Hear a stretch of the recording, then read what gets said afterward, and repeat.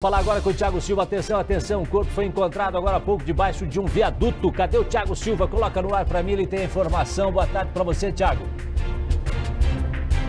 Oi, Jasso, boa tarde para você, boa tarde para quem está acompanhando aqui o Bala Geral. Eu falo nesse exato momento aqui da Engenheiros Rebouças, bem do lado da entrada do estádio Dorival de Brito, estádio do Paraná Clube, que você conhece tão bem. Ô, Jasson, aqui uma situação hoje pela manhã, por volta das 11 horas, pessoas que passavam aqui no local encontraram o corpo é, de uma pessoa que pode ser de uma mulher trans. Essa informação, os investigadores da DHPP estão aqui, a gente está aguardando, viu, Jasson, a chegada é, do corpo de bombeiros. O corpo está no Rio Belém. É impressionante o que tem de coisa nesse rio. Tem até uma carcaça de um carro ali, perto dessa Olá. carcaça desse carro o corpo é, de uma é, mulher trans. A gente está pertinho aqui, viu, Jason, da FAS, desse uhum. acolhimento aos moradores em situação de rua aqui. Então, uma pessoa que trabalha aqui na FAS veio, teria identificado, teria passado uma suposta identificação e o pessoal está aguardando agora a retirada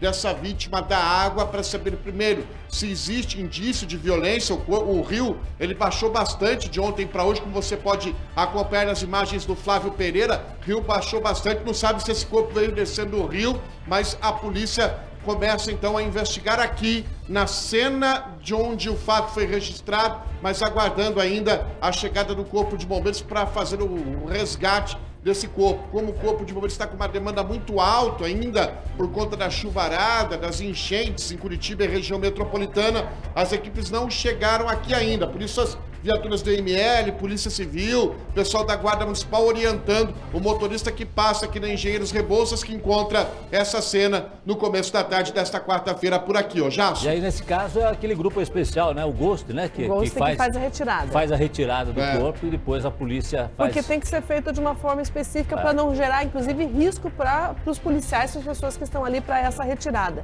E é claro, na, na, na, sequência, verificar primeiro qual a causa da morte, para saber se foi uma morte violenta, uma morte natural ou acidental, né?